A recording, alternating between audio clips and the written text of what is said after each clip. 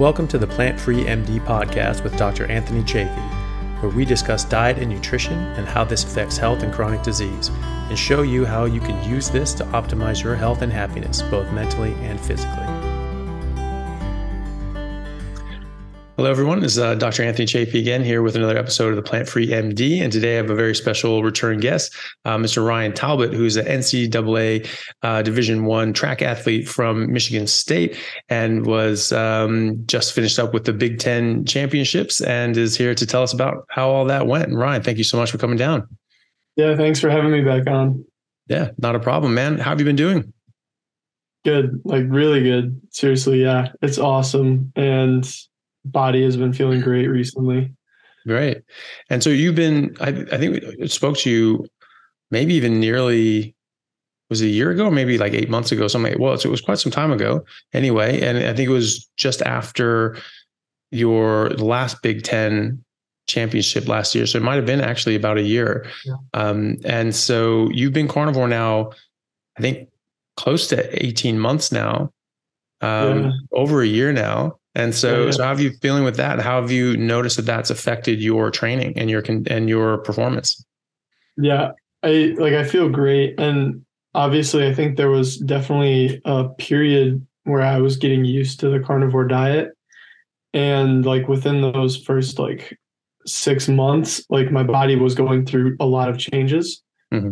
Um, now I feel like I'm starting to even out on those like changes and just like I'm at a really good level of functioning where I like kind of can understand what my body needs for competition and recovery and what I can do to improve that stuff. And I can also listen to my body more when I'm like, man, I slept really bad last night. Like, why did I sleep bad? Oh, okay. It's probably because I tried to eat a piece of cheese and like I just slept weird and I'm just going to cut that out, you know?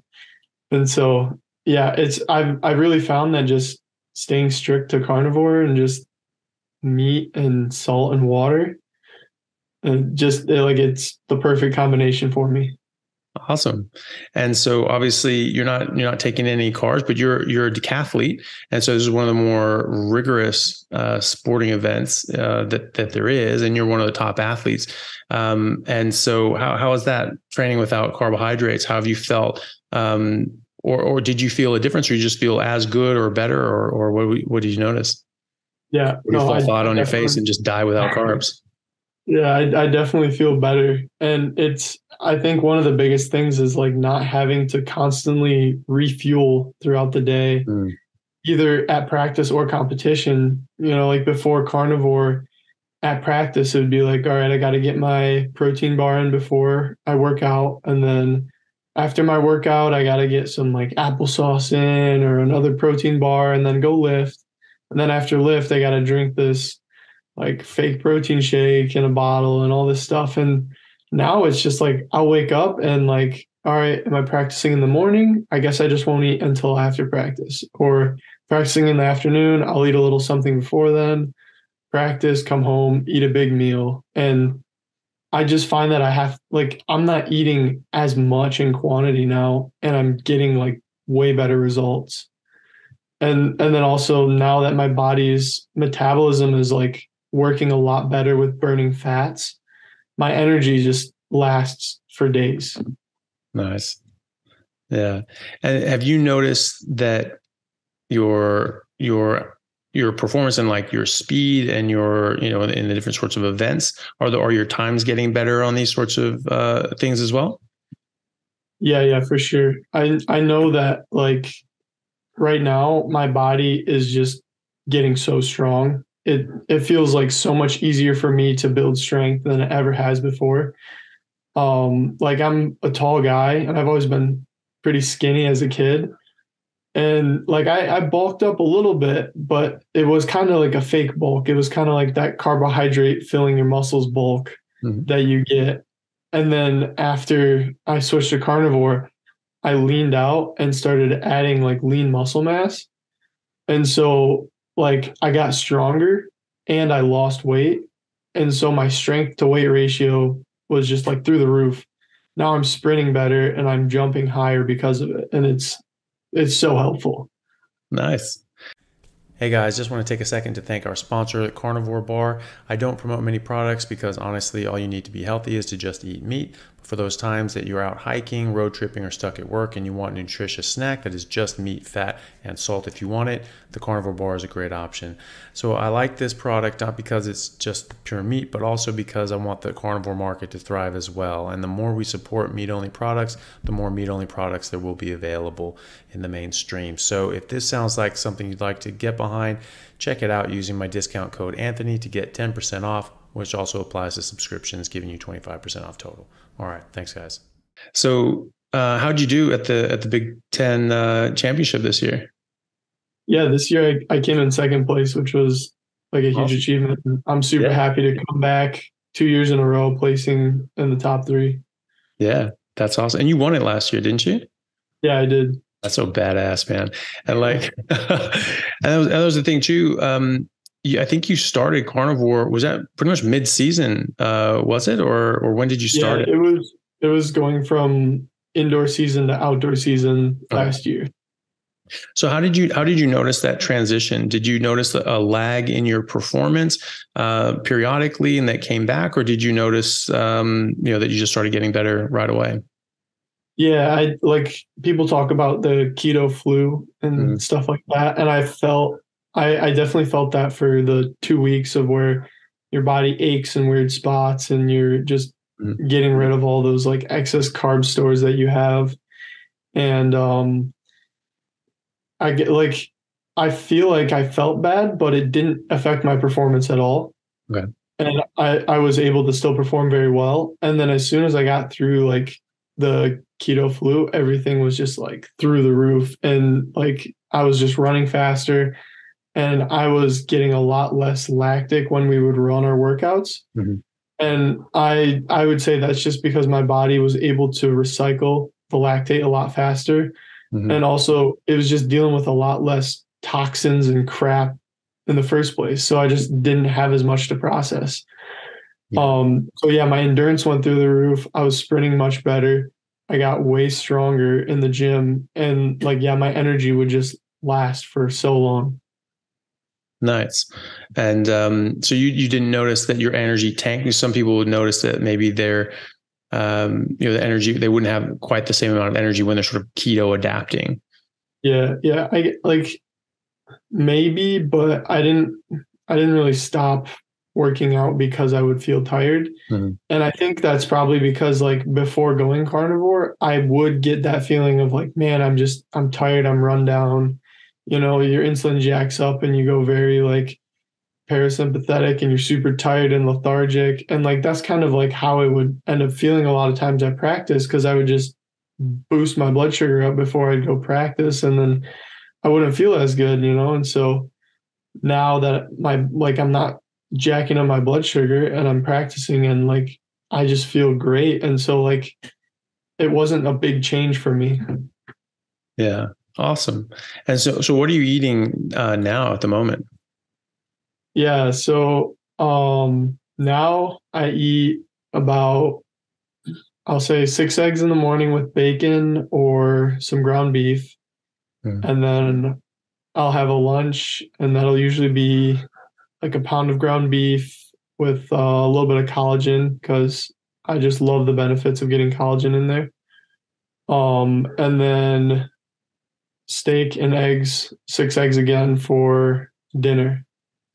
And that's nice. pretty much it. And also like like I said, like I don't I don't need to eat all the time. And so sometimes like if I wake up in the morning, skip breakfast, I'm fine. Skip lunch, I'm fine, you know. It's like I usually I'm always eating a steak and eggs at the end of the day though. nice. Yeah. And um so have anyone anyone on your team or your your teammates and anyone around you have they started taking up uh, some of your advice on on the diet sort of thing? Um, I think a few people have been maybe eating a little bit more meat, but yeah. it's it's hard to try and change an athlete's perspective, you know, yeah. especially when they're they think that they're doing good, they think that they feel good, they think they're healthy, you know, and they're not going to want to completely throw everything out the window and I also think a lot of people are have a sweet tooth, you know, and they telling them, "Oh, you can't drink Gatorade anymore." It's like well, I don't I don't want to not do that, you know. Yeah. I don't want to live in that world. Yeah. Yeah. And people look at me and they're like, "Oh, like you got to loosen up, man. Like it just is like it seems like a disordered eating, you know, you're not doing any of this." And I'm like, "Dude, like I just I feel so amazing right now that like I have no desire to change anything about this." Yeah. Yeah, because cows have disordered eating too. They're so they're so particular about what they eat. it's like they, they need to branch out and eat some Skittles or something like that. That, that that's what's healthy.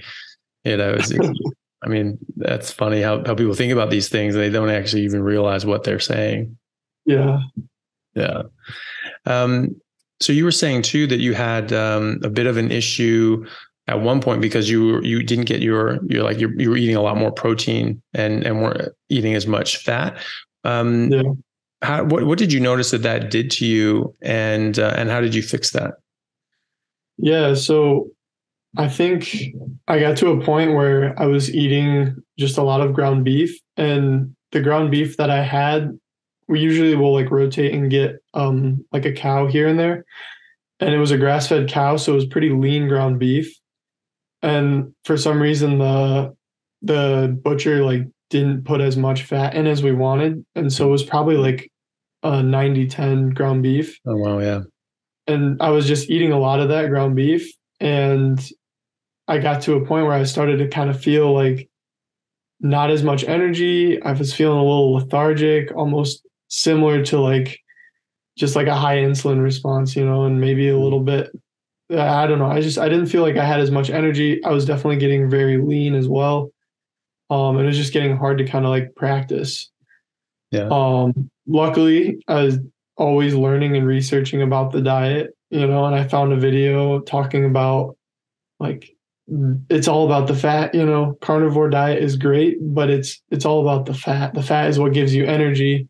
You know, you see all animals are going to go for the fattiest cuts first. They're not going to go for the lean cuts. That's where all the like the energy is. And so I just increased my fat. I started using a lot more butter in my eggs. And I'll go through almost like a stick of butter a day just by cooking eggs in it. Um, getting like the fattiest cuts of ribeyes and just increasing the fat in my ground beef, just all that stuff. And also adding bacon is huge. Um, all all that just increased my fat intake, and I started feeling amazing again, and it just got it just got so much easier. Nice. So you know since then your, your energy levels went back up you're able to train harder and it was really yeah. just increasing the amount of fat yeah yeah yeah and like you can you can get away with eating like high protein, low fat only for a little bit. You know, like your body's going to create what it needs from the protein through like gluconeogenesis, but it's a, it's a hard process and it's not going to want to do that forever. Yeah. You know, so I was I was able yeah. to survive, but it wasn't like I was thriving again. Mm. Yeah, and you weren't, and you weren't, obviously, you know, as a high performance athlete, like you need to be at your best. You're pushing yeah. yourself to extraordinary degrees, and and you notice when there's just you know a little chink in the armor. Yeah, I think the carnivore diet has definitely helped me become like very in tune with my body, where I can mm-hmm. feel those changes very quickly. Yeah, you know, and as I as I try to remind people, fat is not just a calorie source; it's a, it's an essential nutrient. You have to have it, and you have to have enough of it. And uh, you need enough fat. You need enough protein. You need enough lean. You need enough fatty. Um, mm-hmm. you, you do need both. And so, you know, I mean, you can you can do away with one or the other for a certain amount of time. But yeah, you're right. You know, especially if you if you're at the at the upper echelons of of uh, of pushing yourself mentally and physically, you know you do need to you do need to optimize this and just get it as perfect as possible and so finding that right that right amount uh, for you is, is really important yeah and i don't know any carnivores who struggle to get enough protein in the day you know yeah and that's like that's why i bring it up is because i think a lot of people hear carnivore diet and just eat meat and like it's like well carnivore diet is like meat and fat you know the fat is key like you said and there's so many fat soluble nutrients that are just so vital for us humans, you know. Yeah. And yeah, and, and some people ask me, it's like, well, you know, you take protein supplements, you all these sort of things. Like you really don't need to.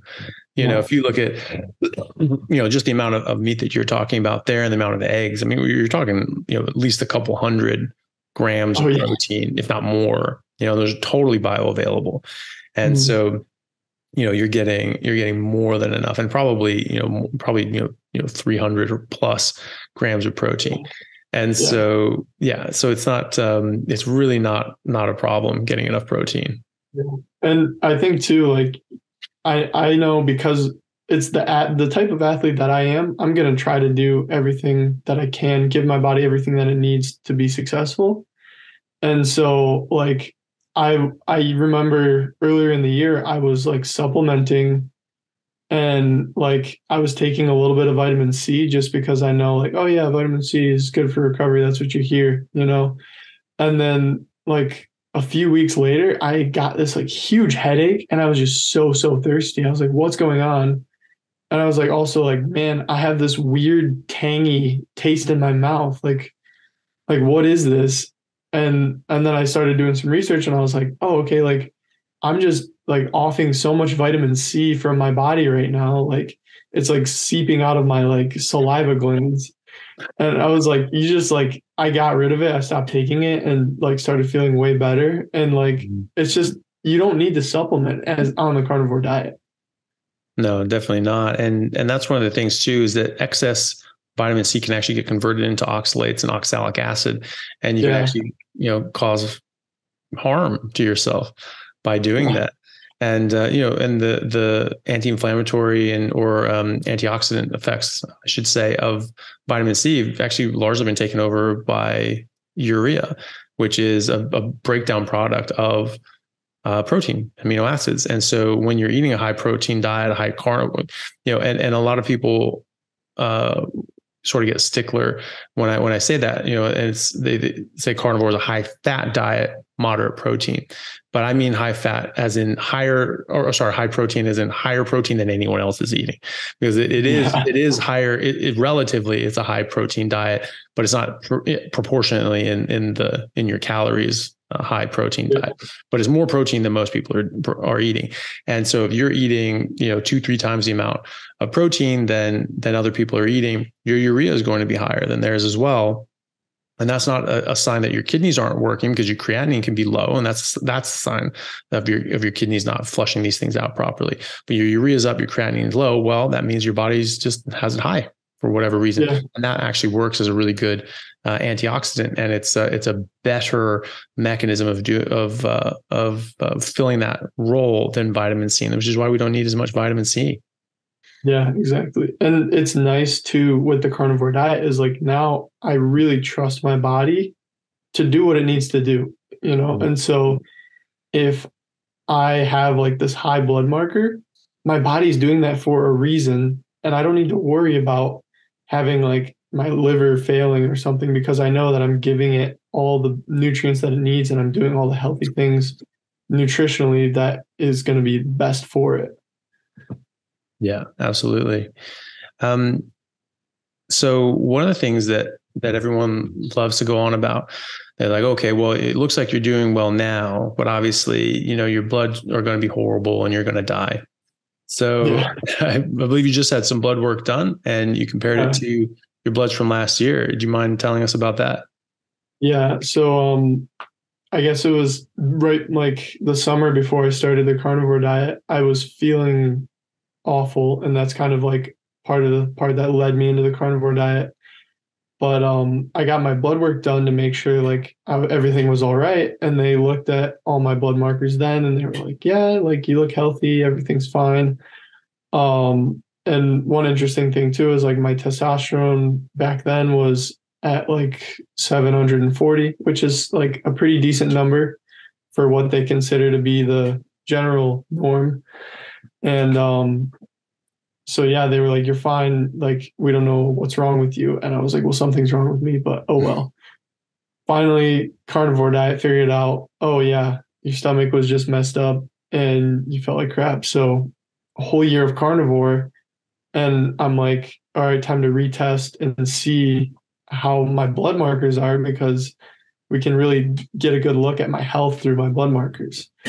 And like everything looked amazing. I know the doctor was like really trying to find something. He was like, maybe, maybe this is going to be bad. Maybe this is going to be bad. You know, like we expect to see some things here, you know, and everything, everything was stellar, you know, and one of my favorite markers that improved was my testosterone marker.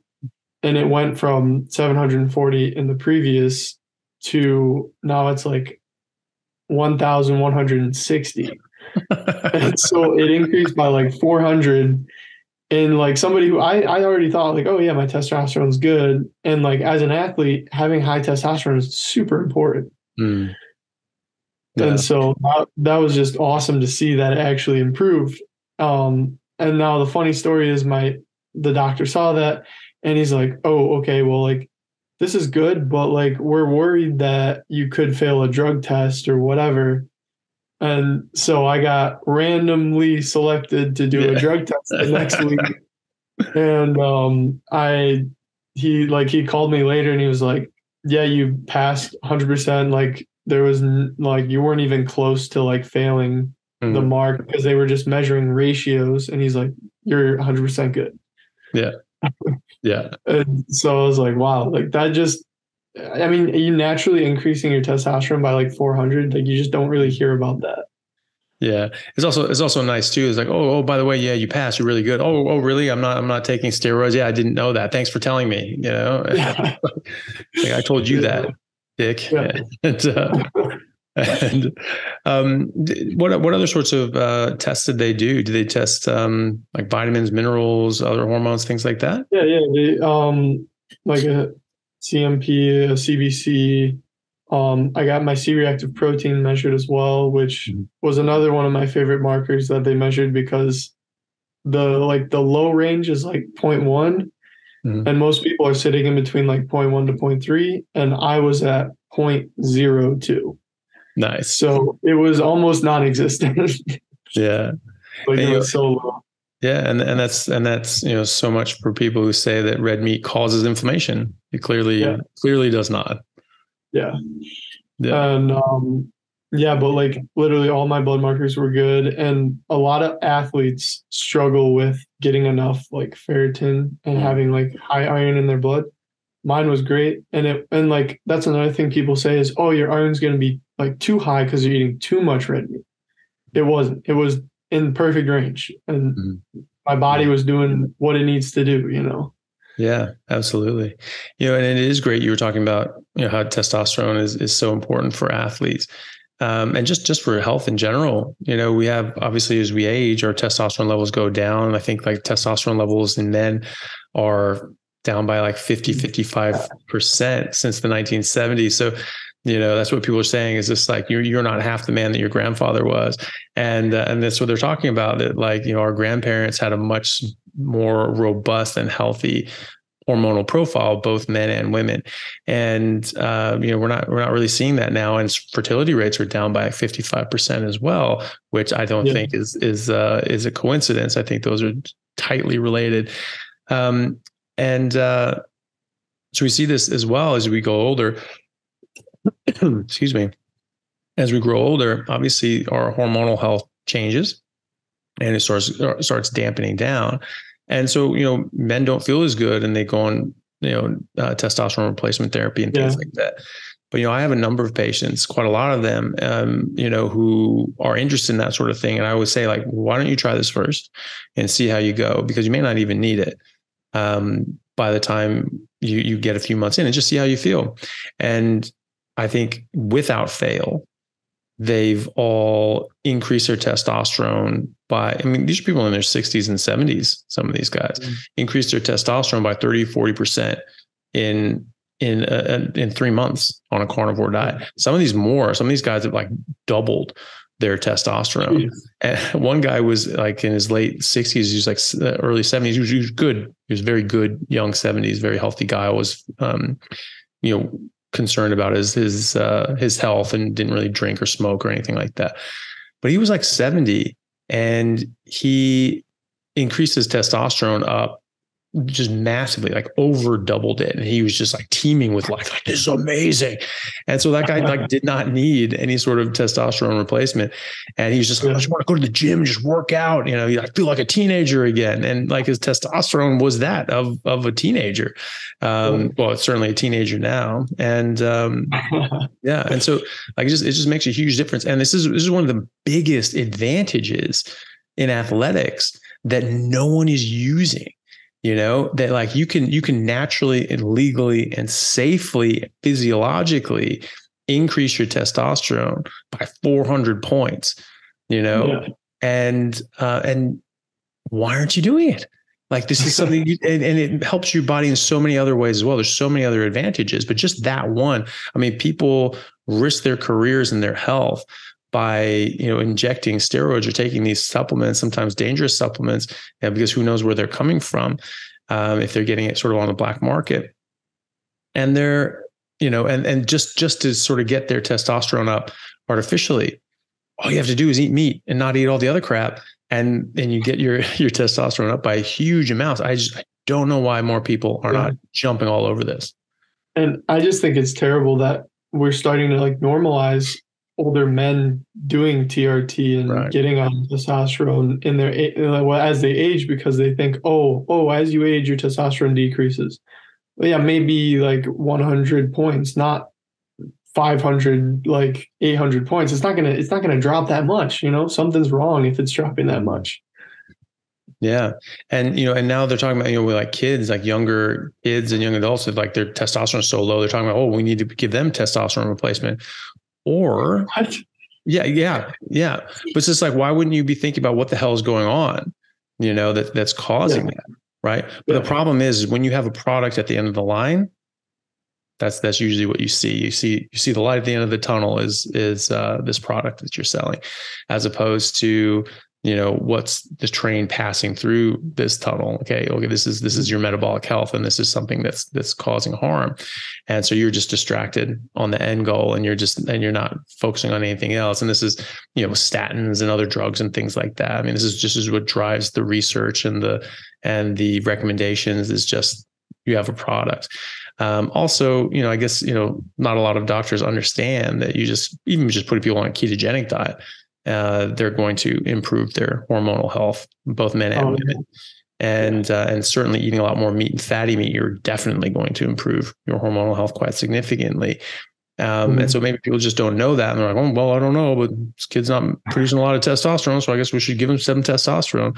And I think that's that's a really bad way of doing things. I think that you you really have to you have to investigate like why the hell is this happening, and yeah. you know what are we doing that is causing this to be a, a growing trend in just lower and lower and lower testosterone levels in in young men. Mm-hmm. And I think like eating the meat and the fat is just so good for building all your hormones. Mm-hmm. But also, when you avoid all of the toxins you avoid the seed oils, you avoid all the mm. estrogen inducing chemicals and stuff, and, and you're avoiding the plants, like all of that is going to help your body not get rid of all your testosterone and destroy you and like create all this extra estrogen that's going to lower your testosterone. Yeah.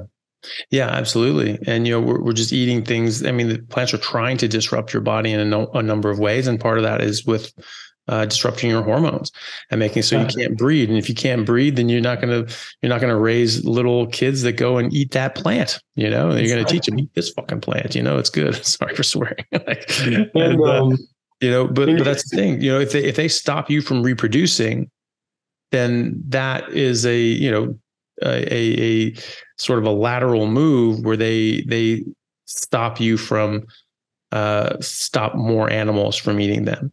And, mm-hmm. uh, and, if you're just not getting as much nutrients out of them, if you're not getting as much nutrition out of them as another animal would from another food source, then you're not going to uh, be as competitive in surv- in the game of survival as another animal is. And so you might die out. Your line may not be as successful, and that other line that's eating other things is going to be more successful. And so that's in the in the plant's advantage to to sort of steer steer things off and steer uh, you know the the evolutionary path down a different angle. Just say, stay away from me, just go over there. And the ones that yeah.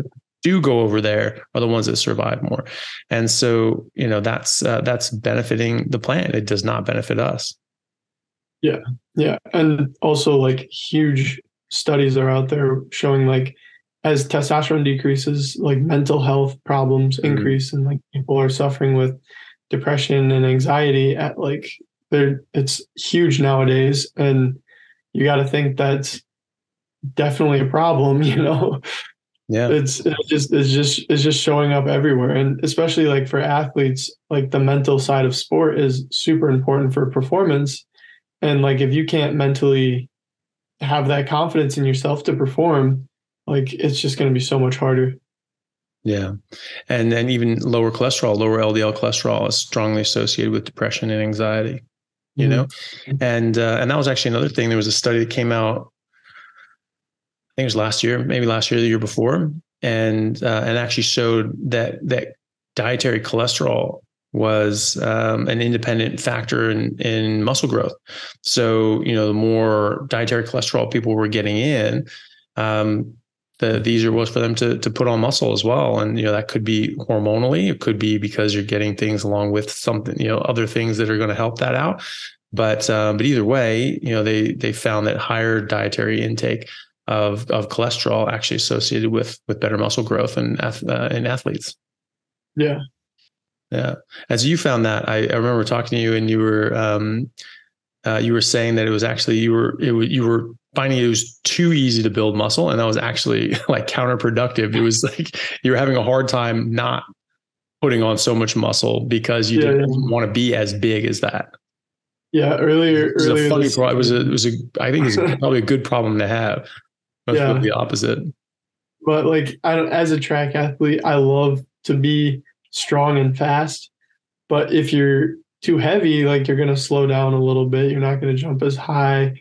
And all that running and pounding on your body, you know, imagine putting on a five pound weighted vest, a 10 pound weighted vest, and mm-hmm. going and jogging a mile.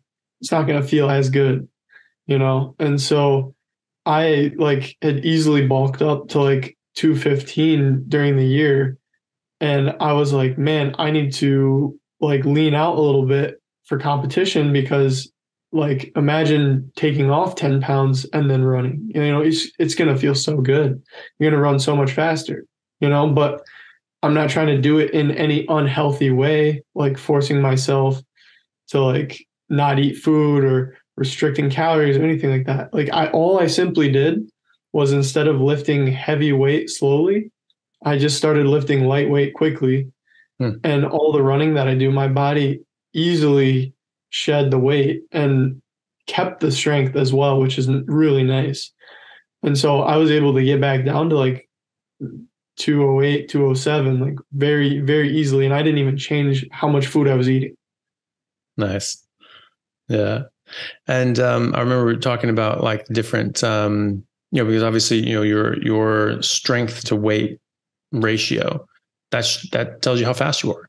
You know, if mm-hmm. you are this strong and you, you know, two people that are the exact same strength and one weighs more than the other person, that person will be slower. Um, yeah. You know, you know, if you taking into consideration technique and things like that and, and sprinting. Yeah. Um, but you know, if, if you're both track athletes, then obviously you're probably going to have decent, decent technique. So after that, then you're going to, it's just going to come down to strength to weight ratios.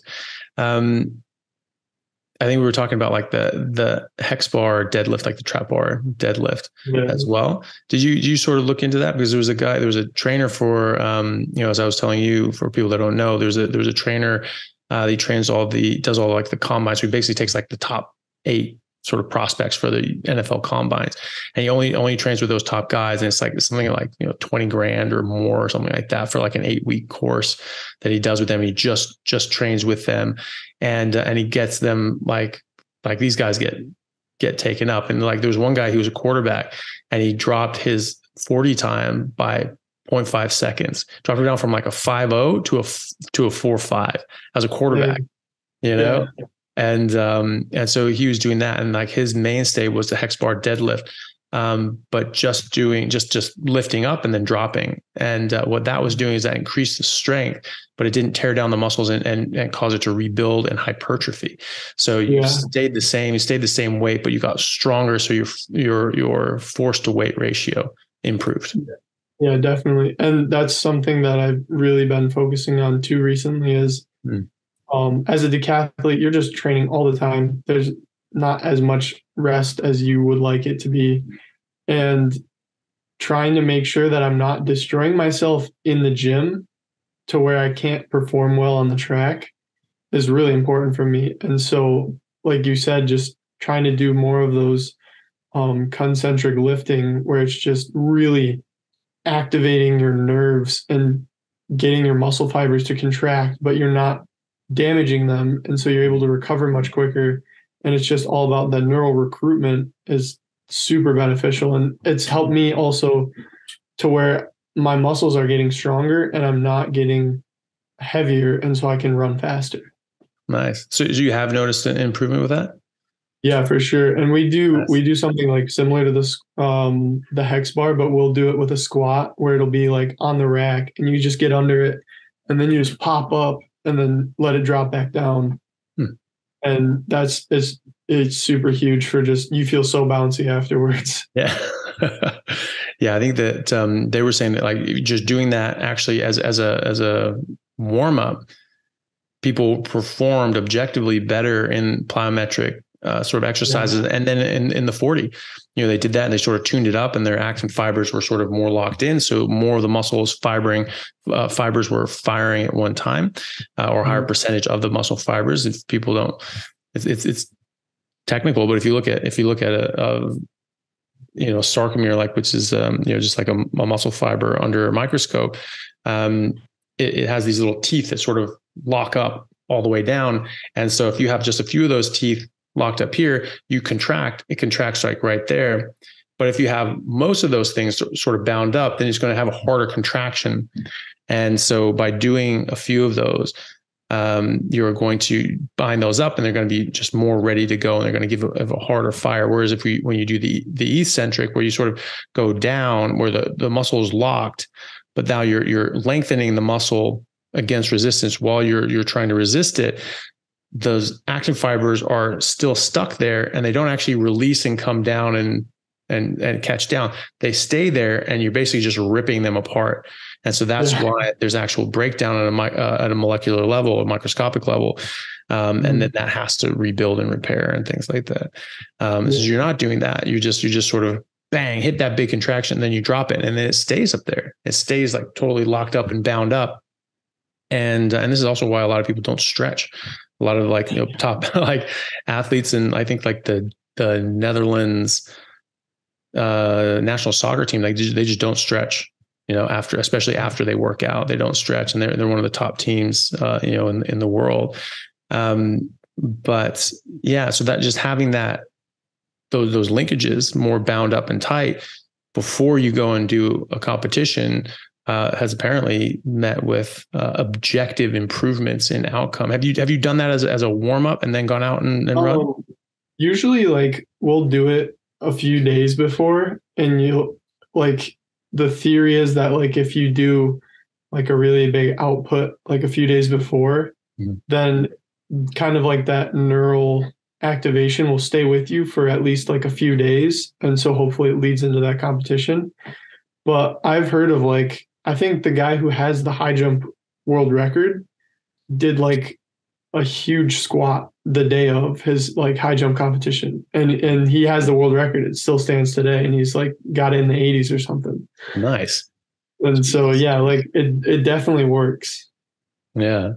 Well maybe try that you know just in, in your training. You know if you're going to go out and do some some runs or something like that just do you know, like I think I think what they were saying, what this guy was saying, was just like sort of like six to eight rep range or something like that, or five to six or something like that, of just the, the concentric, just lifting up and dropping, and just do like you know a few sets of that, and then and then you get out there and just you can take off because you're not breaking down the muscle, and mm-hmm. you know mm-hmm. especially as a carnivore, you're going to recover, you're going to be fine, and so you know um and, and he's noticing this benefits in just just people that are eating whatever they're eating and uh, whereas Which I think that like, you would be doing even better. Yeah. Yeah, yeah that, that recovery aspect is huge. Yeah. Well, you could even you can even try it, you know, just in your own training, just see how you're running and uh, see what your time is. Bounce out a couple sets of the of the concentric hex bar and mm-hmm. run it again, you know, and see yeah. how you do, you know. Like especially with the sprints, I mean, it's it's hard to fake a sprint. You're just running yeah. flat out, you know, or you're yeah. and that's it. Yeah, and it's it's one of the best measures of like muscle output too. Yeah, yeah, absolutely. Um, and so, you know, just going back a bit, like to your your test, you were saying as well, you got like a DEXA scan, like body composition scan. Um, yeah. Did you get that? Did you get like a number, like be able to compare them, or is this the the first one you got? Yeah, so um, I only got one, and it was interesting. Is because I'm in um, my major is kinesiology here at Michigan State. And so I was taking an exercise physiology class, and they were like, All right, we're going to use a DEXA machine. Who wants to get scanned? And I was like, Oh, of course. Obviously, yeah. I want that. Um, and so I got my DEXA read. Sadly, I don't know how accurate it is because I kind of didn't fit on the table. You know, I'm six six, I'm two meters tall, and I don't know. The table is just not built for guys my size. Either way, it only cut off like a tiny bit of my forehead. Um, and the DEXA had me at a 12% body fat, which is like, I guess some people would be like, oh, that's like kind of high, you know, for what we would expect to see you as. Like, we think, oh, you're like a lean athlete, whatever. Um, and I'm pretty sure that just the DEXA goes over the whole body and definitely like it incorporates your head into the calculation and we already know your brain is like 70% fat or whatever it's mm. just so much cholesterol which is you know whole nother thing about why cholesterol is good for your brain but mm. um so yeah i got that done and then in the same day we were like trying to compare like all the different measurements of body fat and so I did the bod pod, which is where you sit in an air compressed tank and then they measure your displacement of the air. And the body fat percentage for that said that I was around five to 7%. percent mm hmm So it was much lower. And then the last one I did was the electrical impedance, where you just hold on to two electrical sticks and it sends a circuit through your body to measure kind of like how much the current is impeded and the faster it goes through you the less fat you have. And then it calculated my fat to be like i think it was like yeah it was like 4% body fat with that. So all very good measurements i guess. Yeah. And uh and you know my like you before we got on here sort of held that up um, and you were saying it's like if it's if it's yellow like that's bits of fat. And like yeah. we were looking at this was like we cannot find any yellow on this thing you, want me to grab that? Yeah yes this thing. This was the yeah. yeah this is the thing and this is the scale down here you can see the yellow yeah. is the fat and yeah. So this, this is saying that like you know, if, if there's yellow on it, then that's then that's fat. And and they're saying that like 12% of that picture is supposed to be yellow. But I didn't see any yellow. Yeah. So, so, like I don't, I don't, know. Maybe it was just maybe it was just a bit um it was a bit wonky that day or like you didn't fit on it quite right. Didn't know what the hell to do with it. So yeah. that's that's kind of funny. I would uh yeah, maybe see if get another test because the, you know those other there's other tests, you know, the those other tests um I've seen uh you know different people uh, that have done that, and they've found it matched up quite quite well with the DEXA scan. And mm-hmm. so, it, like quite consistently, it was, it was they were yeah. quite similar. And so that having that big disparity, you have to sort of wonder uh, you know, what, what's going on. Yeah, because you know the other two were quite similar, and it was just the DEXA scan that was actually the the outlier. Whereas normally they all sort of sync up pretty pretty well. Yeah. Yeah. Yeah. So like what a DEXA scan would see uh, as well. You know, I mean that's the thing too because they they would all account for visceral fat, you know, yeah. and uh, and intramuscular fat. So it's it's it's quite funny. I didn't I didn't see any fat around no. my viscera. So no, no. Yeah. And so, well, either way, you know, still very good, very good numbers, and still very healthy. So that that's good. Um, you know, did your did your doctor uh, bark at you about anything? Did he did he find something to get mad at you about? Like your blood? Yeah, I mean he's he's pretty good. I had um like there was two liver markers, or maybe they're kidney markers, but one was ALP, which I'm pretty sure is a enzyme or something that your liver produces to help you break down protein. And mine was high, but also it was high compared to the general population who is malnourished. So and not eating a lot of protein. Yeah. So I, I didn't think it was a bad thing. I was like, oh, that's great. It means I can digest protein better. Yeah. um, and then the other one was my creatinine levels, which is just the byproduct of creatine. And that was a little bit high, but also, again, related to protein. And I don't think it's a bad thing. I know a lot of athletes will have high creatinine levels just because we're processing and burning and going through so much creatine. So it's just, it's naturally occurring. Yeah. And, and, you know, at the end of the day, it's generally the solution for that is just drinking more water. Sometimes that can yeah. be an early sign of dehydration. It's just your, your, your uh, kidneys are having to, you know, concentrate your urine, you know, more and more and more to, to hold on to the water.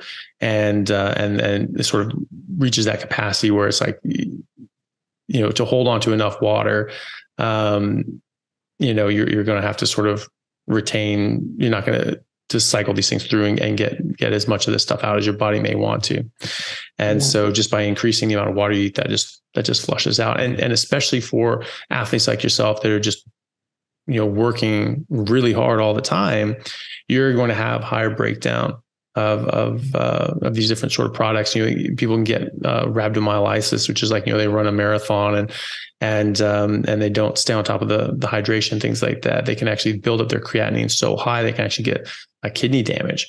And um, and so you know that, but the solution to that is just loading them with water and just putting them on IV drips and just water, water, mm-hmm. water, water, water, and you just sort of flush this stuff out and your body heals. So you know either way, it's not it's not a big deal. You know, just drink a little more water maybe. Yeah, yeah. And it could also easily be affected the morning of the test, you know. Oh, did I mm. wake up and how much water did I have in the morning, you know? So it wasn't it wasn't enough to scare the doctor and he was honestly like, "Oh yeah, like this is a lot better than I thought it was going to be. Like all your markers are really good." And he even offered he was like, "Yeah, we can retest in a few like months from now too and see if anything changes." So I might have to take him up on that. Yeah. Well, you know, it's it's it's not a bad idea to sort of keep track of these things. You know, but uh, for, I think it's more for curiosity's sake than anything else. Oh, I mean, I never, I never really tested. yeah, I never, I never really test, text, tested my my bloods because I'm like, well, I, I just understand what's going on physiologically. This is the optimal way for me to be eating, and so whatever my bloods are doing, that's what they're supposed to do. That's the best they're going to do, and yeah. so I don't really see the point in doing this, but for for other people, I'm like, all right, I'll check it. And it, you know, they were all great. And um, but for me, I'm not like, okay, I need to keep an eye on these things. I don't, you know, I don't think that it, it, you you do need to do that necessarily unless there's a problem, really. Exactly. Unless you're just curious. No, for sure. And I think it's I think it's funny how like kind of going into the test, I was a little like cautious of like, oh, like what am I going to see?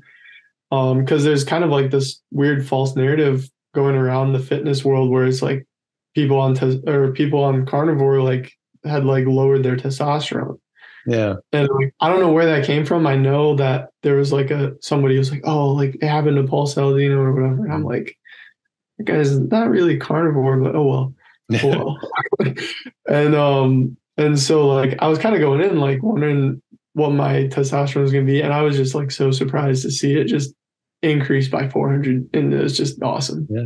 Well you know but that but that's that's what i see you know? Mm-hmm. i mean i didn't test my yeah. testosterone beforehand but when i tested it it was it was in a great range and like i'm not i'm not in my early 20s you know and and my testosterone was still good um and um and that's what i see in patients i see their testosterone going up I see you know yeah. women their hormones uh, optimizing as well, and in athletes mm-hmm. especially, I see testosterone go way up. So there was um, uh, it was a few rugby players that I know that have gone mostly mostly carnivore. Maybe they're still having like a bit of carbs because they just still can't just quite get over, you know, like not eating carbs. But you know, a lot of them have and are just eating meat. And those are the ones you know, I've never felt stronger. I've never felt better. I've never, you know, been able to, to, to feel like that and feel that good. And you, and, you know, you test their, their testosterone and the same thing, they, they jump up. One guy jumped from, uh, like 500 and something up to like 1100. So like, like doubled, yeah. You know, Jeez. and, uh, and so, and that's the thing. And then you, you have to sort of ask, and I'm sure a lot of people are asking, oh, they're probably on steroids. These are athletes. That's what athletes do. They take a bunch of steroids, but like in your case, you got tested and uh, and there's there's no dodging that. You know, NCAA is uh, is quite strict with that. You know, the Olympic Committee is extraordinarily strict with that, and they have yeah. taken over USA Rugby um, years ago. So when I was when I was still playing before I went to medical school, they had taken over, uh, and so you know the rugby players were under the same restrictions as Olympic athletes.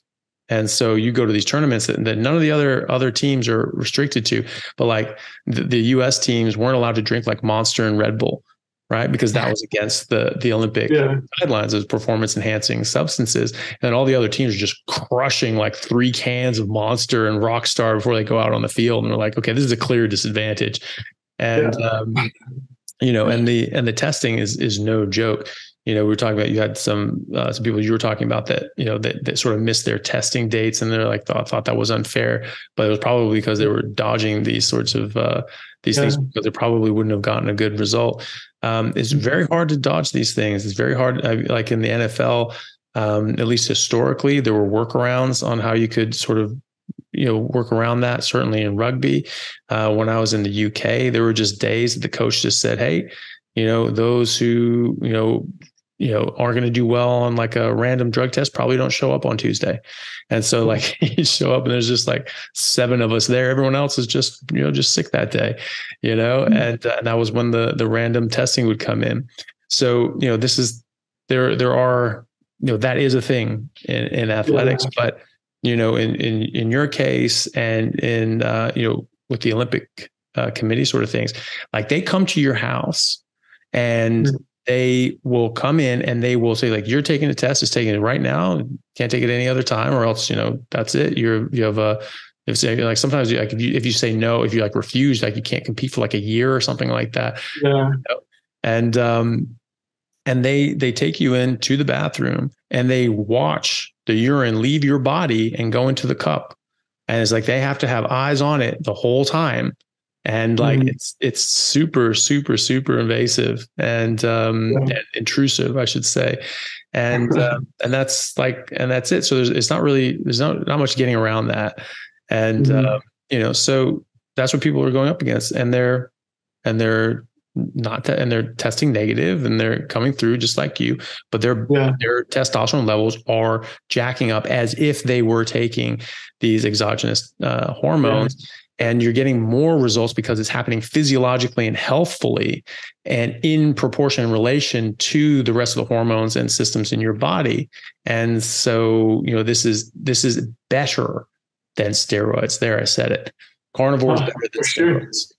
for sure i definitely agree and um i think it's funny too because i've heard the the rumor of like if you eat too much meat that has like hormones, added hormones for the cow. They add hormones for the cow. If you eat too much of that meat, you're going to test positive on a drug test.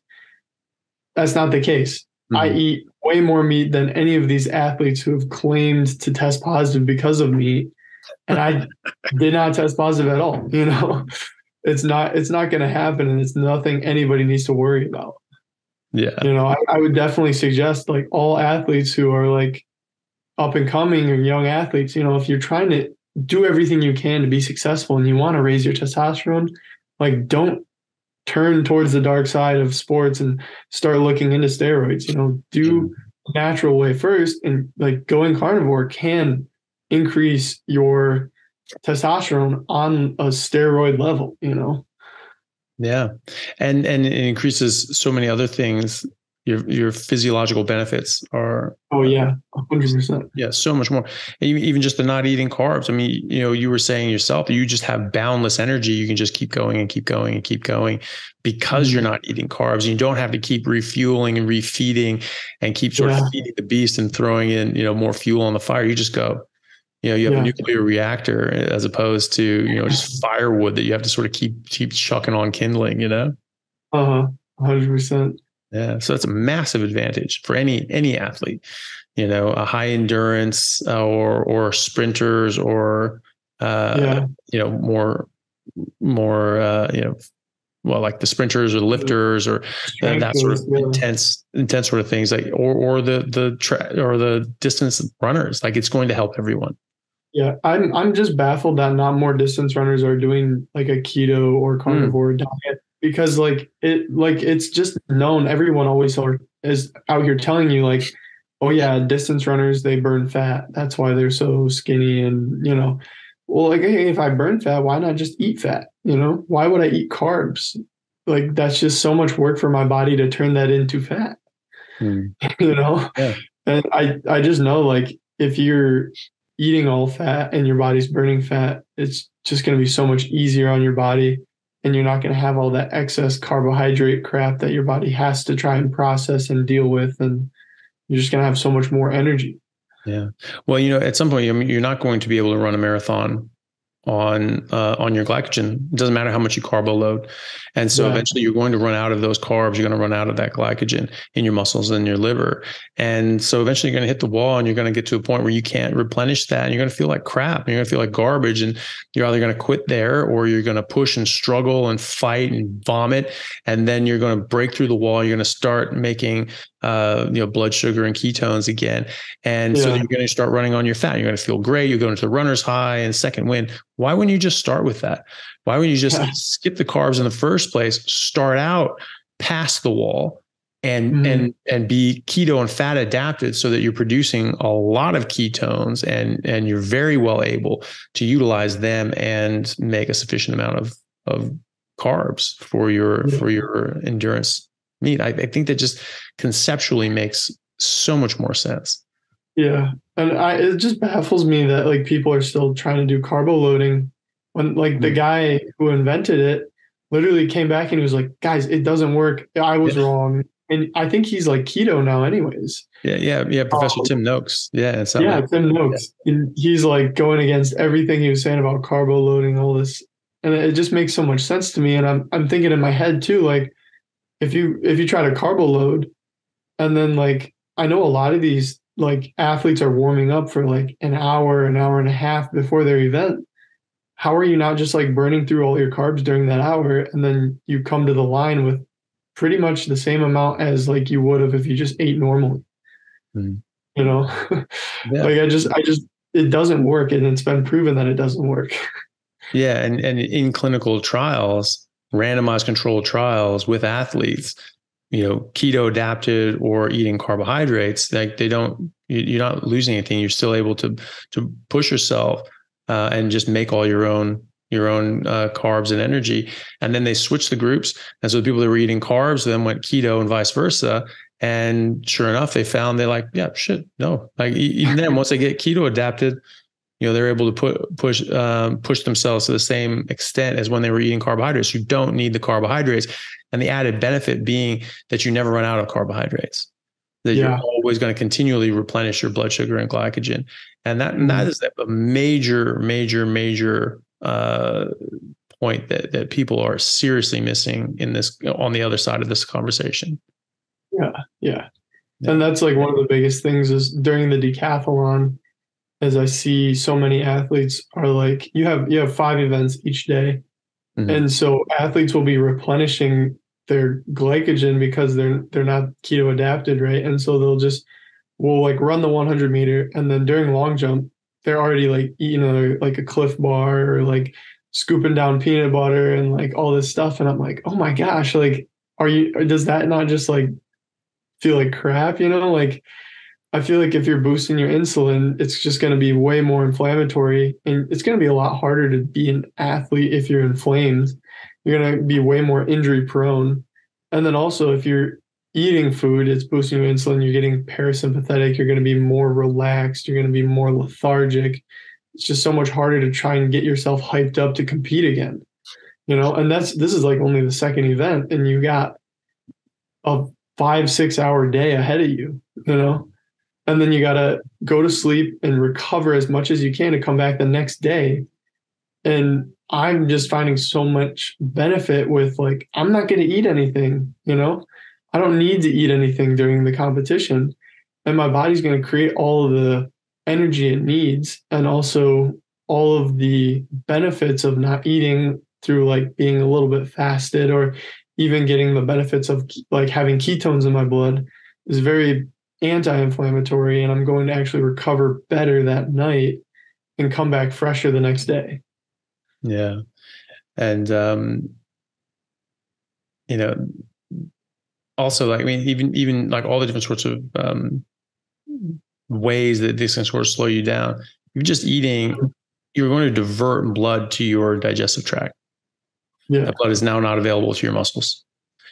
Straightforward you know yeah. so you know you want all of that blood available to your your brain and your and your muscles so that you can just go and um you know that's why i i always noticed that i never felt i always felt much better when i didn't eat on the day of a performance so i was yeah. i would i'd never eat before and every time i had like breakfast or something like that or even if it was like a like a night game it was like seven o'clock at night and I would always think, oh, maybe I should eat down earlier and this, time. Every time I ate, I regretted it. Every single time I ate, I regretted it. And yeah, uh, yeah it's just, it's just, it was never the same. It never had the same energy. It never, never felt as, uh, as explosive as I, as I did otherwise. Uh, which sort of you know brings you to the point you're getting ready for nationals now for, for the for the D1 nationals. Um, what what is your game plan, or maybe you know what did you do at the Big Ten and, and during competitions do you eat during the day what is your what is your routine as far as as what you're eating on comp during competitions yeah so um like usually before competitions depending on how when the competition is like i like to if i can have like four hours before the competition i'll eat something but usually it's a lot more fatty and i like getting a lot of fat in there obviously there's going to be protein with the fat um but i won't like stuff myself full mm. you know and like eggs are super easy and especially like when we're traveling getting in a hotel i'll just buy a carton of eggs and just crack like some raw eggs and drink drink it down you know? Nice. And um, it's super easy and then like for the rest of the day i'm just going to listen to my body and if my body's like dude we're starving we need to eat then i have pemmican um, and I can eat that and be satiated a little bit with it. But usually I don't ever really feel like I need to eat. And like this past competition, like both days, I was just kind of like, I was like talking to my dad and I was like, you think I should eat? And I was like, I don't really, I'm not hungry. Like, and he's like, yeah, you have enough energy to like continue competing for the next like three days. So like, you're fine. and I'm like, I'm like, yeah, that's true. That's true. So like I'm I'm good. And it's it's nice too because I got my dad on the carnivore diet. Nice. And so now like when I'm at track meets and stuff, he'll like bring me a steak after I'm done yeah. competing. awesome. But either yeah, like either way, like I don't I don't eat anything during competition really. And I, mm-hmm. I just feel great and I don't feel hungry and I don't feel like I need to eat. And then right after competing, I'll just eat a massive meal and you get all that food in your system and then go to sleep, wake up next day and keep going, you know? Yeah. yeah. Awesome. Yeah. That's, and that's what I, I always did too. Um, yeah. Just big steaks and things like that. And then, and you sleep and you're just nothing, you know? So yeah. like even tournaments, like sevens tournaments where you'd be playing like the whole day, um, some of these things. And sometimes they're two day tournaments, sometimes one day tournaments. But like you know, sometimes if you're you're playing like you might you might play six games in a day for sevens. It's shorter. It's like 14 minute games, but like it's a track meet. Like it's just a dead sprint the whole yeah. time. And so it's a, a, lot of running. It's a lot of it's a lot of uh, conditioning and things like that. And so you play six games in a day. You know, most people are just just done in. Whereas like, you know, I would just feel, still feel great, you know, and uh, at the end of that.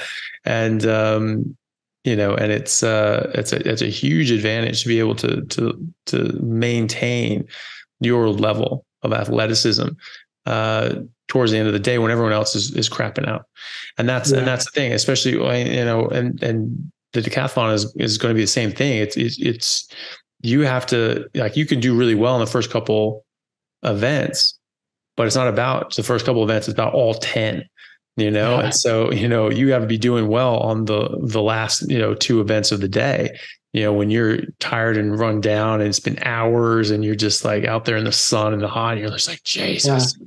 you know that's and, when you need to perform yeah like the pole vault is the seventh event and that that event is notorious for having people like no height and mm. so like if you, if you no height if you don't clear any pole vault bars you're going to get zero points for that event you're pretty much out of the competition mm. you know and if you like if you feel like crap by then like you got to pull something out you know yeah. and um also it's like another thing is you have to make it to the end of the decathlon a lot of the times it's just a war of attrition and you can expect at least two or three guys each decathlon to either stop competing because of injuries or like they no height or something and they just get burnt out and they have to stop yeah and so like the carnivore diet has definitely helped me just be able to keep going. Yeah. Awesome. So how, how do you feel at the end of, of the decathlon this year? Like um, once you get to the end of the competition, how's your body feeling? Yeah. I mean, like obviously if you put everything out there on the field, you're going to feel like pretty destroyed. Mm-hmm. But um, like in, in the reality of things, it's like, okay, well, like if I needed to keep going, I probably could. yeah. I could probably keep going and then honestly like if i if i sleep that night and i wake up in the morning i usually feel like pretty decent and um it's funny because like after this past decathlon i was like i want to experiment with like giving myself a little bit longer recovery than normal you know usually it'll be like two like it'll be like three or four days of recovery and this time i was like i'm just going to take it easy for like five to seven days and like uh yesterday I lifted in the gym for like it was like one of the first days back and I felt like way too good. Like I was like, man, I could just do so much damage right now. and so it's like it's like crazy how how much the body will recover. And I I feel like I can recover really good in like two to three days. If I give myself like a full taper of like four to seven days, I'm just like all cylinders are firing, like everything is great. And another great thing too is a lot of people are worried about they feel like they always need to train and they feel like they always need to like be hitting it hard in the gym every single day. I guarantee you, like I could sit on the couch for like three, four weeks of no training. But as long as I'm eating a carnivore diet, my body's gonna stay in shape. Mm-hmm. And I'm not gonna lose the muscle mass. I'm not gonna lose like my like all the training that I have and I could probably go like pop off a really great decathlon after like sitting for a few days. And like I think that's the thing is like it's just your body's going to stay in such better shape if you're not in constant inflammation and also if you're giving it so much protein it's just going to it's going to keep the muscle it's not going to shed it off so quickly yeah. And um, yeah, I, I, always notice that yeah, the recovery is so much easier. It's so much better. You can do so much more. But yeah, you're right. If you do give your body like a while to recover, like you, you just feel so much better because you can definitely overtrain. You can definitely wear yourself yeah. down. And, yeah. uh, and that's not what you want to do. It's harder on a carnivore diet, but even then, you know, giving yourself an, an adequate chance to to recover, like you're just mm yeah, you're then you're you're just fully built up yeah. and just ready to crush it. But I I have to like force myself because like after decathlon, two days after decathlon, I'm like, all right, let's get back to it. Let's start training. you know. But like I have to I have to look long term and say, all right, I got nationals in two weeks. Maybe mm-hmm. we just take a few more days off and then I mm-hmm. can feel really good to train this next week and then get ready for nationals, you know? Yeah. And so it's like I just like I I can push myself way too quickly because I just feel so good. Yeah. Yeah. and I'm just trying to like milk it and get it to be like optimal. Like I feel amazing. You know, that's how I always want to feel. yeah. Well, hopefully you get gets a, a, good enough time to go into nationals like that and just go into nationals just feeling feeling like a yeah, superhero. For sure. Yeah. Um, so yeah, so sort of tag on to that, like, you know, after the, after the you know Kathleen, obviously you put everything out there, but like on the last event, how do you feel on the last event? Like you've, you know like that you have to like put everything out there as the last one. How do you how are you feeling now as opposed to previously before you're doing carnivore? Yeah, and oh man, the last the last event is always crazy because you have to run a fifteen hundred oh, as yeah, the last nice. event, which is like just short of a mile. Yeah. And um like to be fair, I never I never ran the decathlon until after like I I was carnivore for my first decathlon. Mm. But I had done heptathlons before, which are like the same same concept, seven events, you know, but it's indoors and you're still running far. You're running a thousand meters. And if anything, people will argue that the 1000 is harder than the 15 because you're running at a faster pace. Mm. Um, and so running that 1000, like the last event after two days of competition, while like not doing carnivore, oh my gosh, like I just would hit a wall. You know, if I wasn't careful, I would really have to pace myself because I'm like, if I'm running too hard right now, I'm just gonna hit a wall and I cannot just I can't run through that wall. I'm just gonna be dead. Mm. And like before that before that 1000, you're like, all right, I gotta eat like this sugary stuff so I can like increase my blood sugar, give myself energy for the race and all this stuff. And you know, you're running and you're kind of like your arms are starting to cramp up and like it's just it's not a good feeling, you know. Um, but like now that I'm on carnivore and even like this past year running the 1000 indoors, like just feels so much easier, feels so much better. And it's just a huge confidence booster walking up to the line and knowing that like I don't feel like crap. These guys probably feel like crap. And like I know that I'm putting all the good stuff in my body to help me succeed right now. Yeah. That's yeah. So it's it's it's definitely a game changer, just feeling good for that last event. Yeah. So um how did how did you do on this last last last round on the on the fifteen hundred? This oh yeah, this last fifteen hundred I had a, a personal best. Oh, nice. There you go. Yeah, I ran. I think it was a four minute forty three second. Nice. So it's pretty good. I mean, nothing compared to the guys who are training the fifteen hundred every single day. Yeah, you know, um, we'll train that about like once a week, but still pretty tough. And I, that would probably uh, be pretty close to. Oh no, I, I that would be probably a sub five minute mile if I mm-hmm. continued for that next hundred meters. Yeah, yeah, definitely. Well, that's awesome, man. Uh, that's, that, that, well, it's, it's, great that you can actually set PRs, you know, as at the last event, you know, as well, you know, mm-hmm. as opposed to like in training where you're like you're set and ready and rested to go, and just you know you're going yeah. pushing it out there. That's awesome that you can do that at, at the end of a competition. Yeah, and it's it's great too because the event before that, the ninth event, or yeah, the ninth event, the javelin, I ended up throwing a PR as well. So nice. Yeah. yeah, that's really good, man. Well, that's good. Well, hopefully that that just continues and rolls into into nationals and get enough uh, rest for that. Um, yeah. You know, talking about that as well. You know, like just like the the clear advantage this has on athletes and like why more people aren't doing it. I guess it, it's good for you you know, because it's just like, all right, well, don't you don't take the the super juice. Like I don't, I'm not stopping yeah. you from doing that.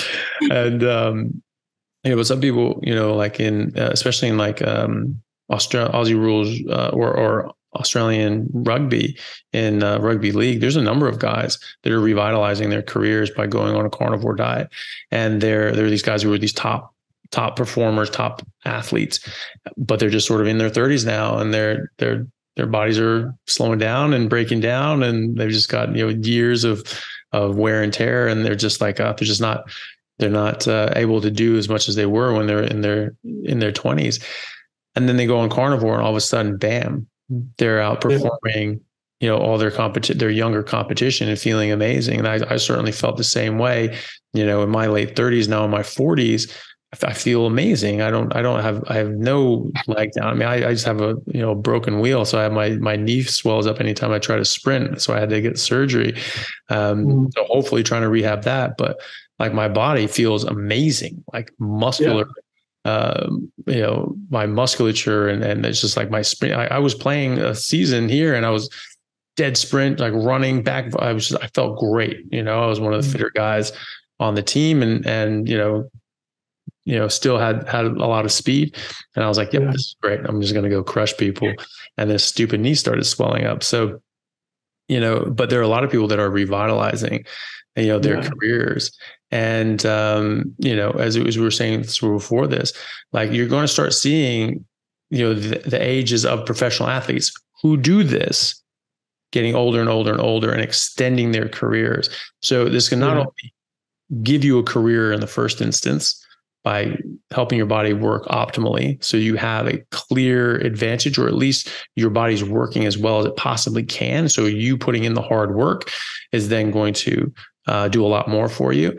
And then you're going to have much more longevity, you know, uh, you know, barring any sorts of, you know, weird injuries, you know, you're mm-hmm. going, you're less likely to get injured also. Um, yeah. But, you know, if your, you know, if your body works to this extent. Like you're just going to keep going and going and going. You're in your your 30s and you're in your 40s, and you've got 30 years of experience. You know, 20 years of professional experience. You get into your 40s and 50s. You have 30 years of professional experience. No one's messing with you. You know, especially like these these skilled things. You know, Tom Brady actually did carnivore. The dude would probably still be playing. He wouldn't have had to retire, but he went 23 seasons. You know, yeah. and arguably was getting better and better and better because he's just more and more experienced you know, as he mm. went, but you know, he just gets sort of sick of it after a while. He's just been doing that his whole life, but you know, he's yeah. um, you know, he easily be able to keep going another 20 years if he was on mm. carnivore, I'd say. It would always like bother me like as a younger athlete like coming up and like I would see like older athletes and like they weren't really that old. They were like 24, 25 talking yeah. about how oh, I'm so old. Like it takes me a little bit longer to warm up. Like body's breaking down. I'm like, dude, you're only like 25. Like I, don't want to be like that when I'm 25, you mm. know?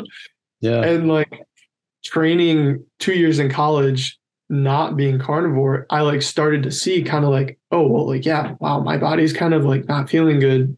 And this is a lot of training I can't handle, you know, switching on to carnivore now.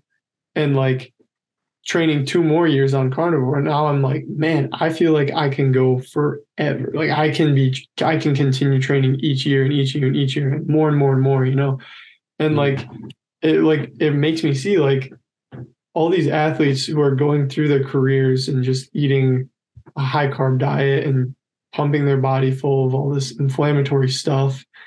And then they can get away with it because they're like that top 1% athlete who has like they have good metabolism. They're working out all the time. Like they get away with it but then as soon as they stop exercising everything starts to hit them and like these athletes just become unhealthy because of these bad habits they picked up. Being an athlete that they thought were healthy and good for them you know?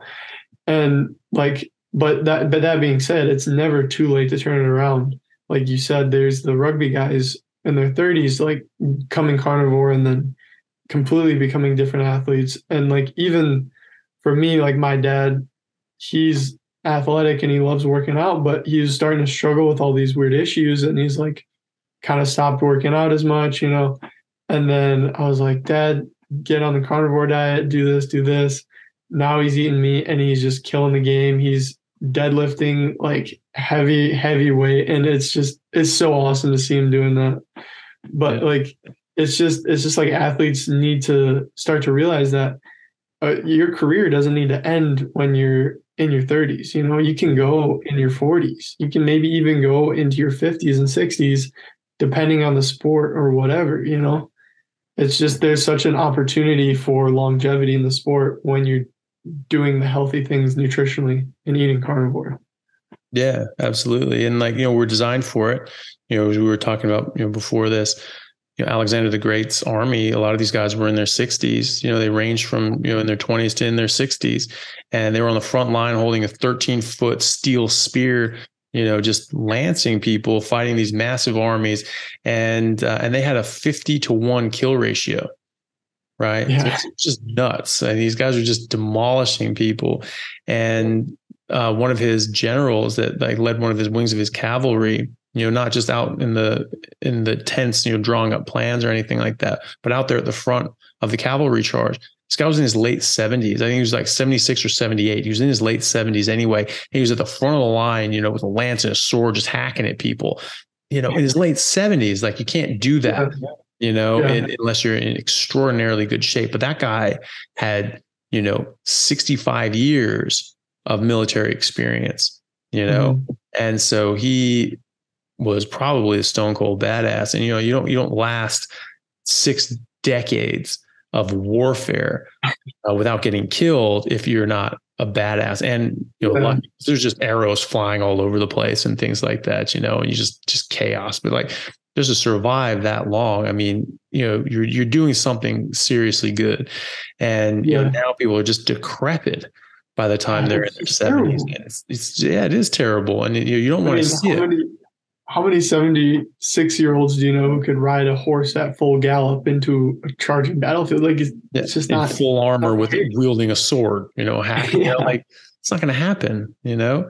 And uh, you know, most most people in their seventies, well, not most, but you know, a lot of people in their seventies. It's not abnormal to have people in their seventies doing like water aerobics and like in a in a in a pool and just sort of moving their arms around because that's the most they can do, you know. Or they Yeah. walk, they're mall mall walkers and they walk around the mall because it's you know sort of warm and you know safe environment, and they just they walk and that's what they can do. They can walk Yeah. and, and some can't even do that, you know. And it's just like it's it's very sad to see because you know your body's breaking down prematurely, and you're and you're losing out on decades of vital life, vitality, mm-hmm. right? You know, if we're designed to live 120 years, which is what it appears we are genetically, you know, we should be that, you know, 70 year old years old is middle age. You know, I was, I was interviewed that lady, uh, you know, Maggie, a rancher up in Canada. She's an amazing lady. She's 82 years old. She's been a carnivore for nearly 70 years and a rancher, and she's only been eating meat. She hated vegetables as a kid. And like she like her, she just fought against her parents and she just only eat the meat. And then eventually her parents just gave up and said, like, oh, look, she's healthy, she's doing well. She just wants to eat meat. Just, just let her do it. She's like, this is just more trouble than it's worth. And you know, then she, you know, she was in veterinary school and she decided she didn't want to be a vet. She wanted to have her own animals and have her own ranch. And so she went out and worked as a ranch hand in the middle of nowhere. And the only only thing you ate was what you grow or grow uh, or raise. And so she was like, "Well, I'm not going to like work to grow Yeah. vegetables. Like screw that. I don't want to eat them anyway." And so she just you know would just eat meat. And so that was it that she did for for the rest of her time. She had ten kids, and as a carnivore the whole time. Yeah. And all the kids were raised just on meat as well. And she's 82 years old. She's still a working rancher. And, uh, you know, so she's out. I was talking to her around Christmas was when I, we were setting up an interview it was around that time. And, and she was saying that she was on Christmas day.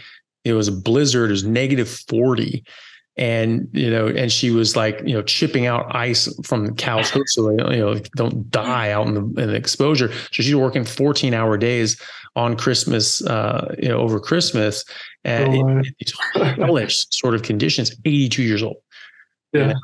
and, and that's that's just like you know i'm most 20 year olds aren't going to be able to do that you know let alone uh, you know someone in their in their 80s she has blonde hair that is her natural hair she doesn't dye her hair that's just her Yeah. hair you know not great. it's it's dude she's 82 That's you know? crazy. and and she looks like she's like in her 50s she looks like someone in who like eating sort of normal and you know going out to brunches you know with the girls and having the proseccos and things like that and whatever. You know someone someone like that like in their 50s like that that's what she looks like. She looks better than that. And it's like it's it's absolutely shocking uh Mhm. you know how how youthful and and vital she is. But that's how humans are supposed to be. And that's Yeah. how we're designed to be. And that's how you can be if you just give your body what it needs to just do its thing you just give it what it needs and just leave it alone it'll take care of Mhm. itself Yeah, and that's the thing. Just just trust the body, you know. It knows what to do. The body doesn't want to self-sacrifice. It doesn't want to have all these diseases. It wants to survive. You mm. know, and so just yeah. let the body survive. Yeah. Yeah, absolutely. And you know, and especially, you know, as as a as someone working in those conditions or someone who's like a top athlete, you you need to give your body exactly what it what it needs or you're not you're not going to make it. You're not going to yeah. be a brancher at 82 in a blizzard, you know, unless unless like everything's firing uh, you know, just right. And you're not going to, you know, uh, you know, get on the podium at Big 10 and go to nationals if you're not doing the same thing. So you know, that's just like a testament to what you're doing, man. That's that's great to see. Yeah. And yeah, it's it's just crazy to see some of these athletes out here who are very successful while they're eating high carbohydrate diets. And like, mm. that's great, but like I don't know, like what what could they be achieving without carbs? Like what could they be achieving going carnivore? Like maybe hmm. maybe even better athletes.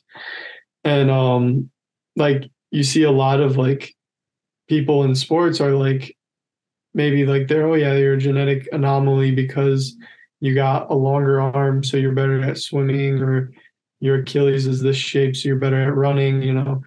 And yeah like maybe those genetic anomalies are a thing but there's also people who are genetic anomalies because of their metabolism and they just happen to luck out and be able to handle carbohydrates better than other people and like in this world where we push the agenda that you need carbs to be a successful athlete of course the people who are going to work better being on a keto diet are not going to be good athletes and they're going to get washed out of the sport. And so we're not really going to see as many people able to be successful you know on those high carb diets. So i think it's important for people to know like if you're not a successful athlete just because and you're like you don't understand why like maybe go to carnivore try that out and see if you can fix your metabolism if you can fix your energy and you might all of a sudden start kicking ass. Yeah absolutely. And you know and even you know even uh you know even even if you're you're not in, in one of those genetic anomalies it's still going to improve you you're still going to have yeah. an advantage. It's going to improve your your hormones. It's going to get rid of this stuff, strip the stuff out of your body that is just harmful to you, it's causing direct harm to your body, causing increasing inflammation and damage and oxidative stress and and slowing you down and curtailing your performance and it's going to bolster your hormones and make you healthier and it's going to give you a better nutritional energy source so that you're able to run constantly on a better fuel source. So, you know, even if you are, a, a, you know, just worth that, you know, not as, as good of an athlete for a number of different reasons, this is going to give you a massive health benefit. It's going to give you massive performance benefit. And then you're going to be able to push yourself harder. You're going to instantly be better. Or when you get keto adapted, you will be better. But the important thing, you'll be able to push yourself more and you'll be able to push yourself harder for longer and recover better and get more out of what you did. And so if you keep pushing it and keep pushing it, you will continue to become a better athlete and and more uh, physically uh, uh, dominant. Um, yeah. And so you just just remember that and switch your diet, start eating optimally, and then just push yourself because you will be able to push yourself a lot harder than you've ever been able to push yourself before. And I'm sure you've noticed this um, mm-hmm. that like your just ability of like, okay, well let's let's really just floor this and just see see what I can do and just go at a top pace. I'm not going to pace myself. I'm just going to absolutely just just you know pedal to the metal the whole way. And you find like, holy shit, I'm I'm not able to wear myself out nearly as as easily as I did before. I certainly yeah. noticed that, and especially once I got into you know season, you know, good in season shape. Like I, I just, I just really couldn't, I really couldn't find my limit. I was just, I just, I, the harder I pushed, the more my body gave me. Mm-hmm. And you're going to be able to train so much longer too. Whereas, like, for me at least, like I'm a I'm a great decathlete, but there there are guys my age who are amazing, like world level they've been they've been doing it for 10 years already i've only been doing it for like four you know and so if i want to last until 10 years from now mm. like i got to do everything i can you know and so maybe maybe i'm not a world level decathlete right now but see me again in five years from now when I'm still healthy and I'm not broken down because I'm like too old to keep training. At you know, yeah. And and yeah, then we'll see where I'm at, you know. Yeah, yeah, no kidding. And and you have those years of experience and uh, and athleticism behind you. Yeah, I don't I don't doubt. You're, well, you know, the thing is too, you're you're you're still putting up big numbers, and like you know, if you're if you're you know getting on the podium in NCAA you know D1 competitions, you know, I mean, that's where the best track athletes are right now. Yeah. yeah. And so, you know, like you, you know, you have to be world class to get on there. So I, I wouldn't sell yourself short, but you know, but also, but to your point, you know, you, you know, as, as long as your will and determination are still there, your body's going to be able to do it. And you're going to mm-hmm. just keep getting better. You keep going to get fitter. You're going to keep getting stronger. You're going to keep getting more skilled. And, um, you know, and so you're only going to get better. And I don't think, I think it's just a matter of time you know, uh, before you know you you see yourself, you know, like you know, going to the Olympics if that's what you want to do. Yeah, for sure. Yeah, is that is that the end goal? Is that what you're gonna uh, looking to do? I don't know. I just want to keep training. I'm having fun with it. You know, it's just you gotta fall in love with the sport and wherever it takes you, it takes you. You know, and um, but yeah. So I am qualified for collegiate nationals. I'm also qualified for USA nationals Nice. Um, which is after, which that'll be a big meet. And there's possibly a few other meets that I'll be qualified for. Um, but we'll see what happens with that. But either way, that's another thing is like this season is turning into a really long season. You know, most people only do two or three decathlons a year. Like right. I have opportunity to do like four or five decathlons a year this year, you know and so like you got to make sure your body can last through that too know it's very important. Yeah. Um so yeah just another thing that i feel like is really helpful being carnivore is like if my season gets extended and i want that opportunity to compete at a higher level like i can take that opportunity. Yeah absolutely. Well that's awesome man. And um so when when is nationals? Um so collegiate nationals is oh, like June 7th or something like that. Okay. And then um, the USA nationals is around early July. Okay, cool. All right. Well, I'll, I will do my best to get this out before then, so people can can watch okay. that and then uh, and then try to uh, support you on your on your um, your journey to, at nationals and and competing there. So um, awesome. Ryan, great to see you again, man. It's been too long. Um, yeah, it's great. for having me. Yeah, no, you're very welcome, man. Thank you very much for coming on. Really glad to see that you're you're still doing so well. It's always great to see that. Um, I was really happy to talk to you last year and see how well you were doing, and then just you know seeing you again, just thriving even more, just getting you know now you got a full year, year and a half of carnivore under your belt, and like and like I was I was telling you before, you know, it's just like you're really going to start seeing like really big improvements in your athleticism this year. I, I predicted, and and it sounds like that's that's what you've been seeing. So that's awesome. Yeah. Yeah. Well, awesome. Thank you. no worries, man. So, um, you have uh, social media or anything like that where people can follow you and follow your progress, you know, at nationals? Yeah, I'm pretty much just on Instagram, just mm-hmm. underscore Ryan underscore Talbot underscore, and um, yeah, that's about it for now. Maybe I'll start making YouTube videos in the future. And I yeah. feel like that would be fun to kind of document some of this journey because I feel like it's a little bit of a case study at this point, seeing an athlete go carnivore. And there's only a very few number of us out there. So it's kind of a fun journey. Yeah. Yeah, well, especially at your level, and uh, you know, maybe maybe just one one question uh, to finish off. If if someone were, you know, an athlete did want to come to this, you know, um, and and said, okay, well, I'm gonna I want to try this for my own, um, you know, my own benefit, my own athletic performance. What would you recommend they do? So some people say they, they're worried because you know seasons are long, and so you you generally catch this in the middle of the season. You say, okay, well, I want to do carnivore, but I'm nervous about doing this in season. What would you recommend to someone who's sort of in, in the middle of a season and, and playing or playing like a professional sport or or you know as a, as a top you know collegiate athlete? Would you recommend that they just they just go for it? Or would you recommend they sort of slot it in an off season or if they have a couple weeks off? Yeah um i think the best way is to like just go for it you know because it's never going to be a good time for you you know you're always going to have a reason to not do it.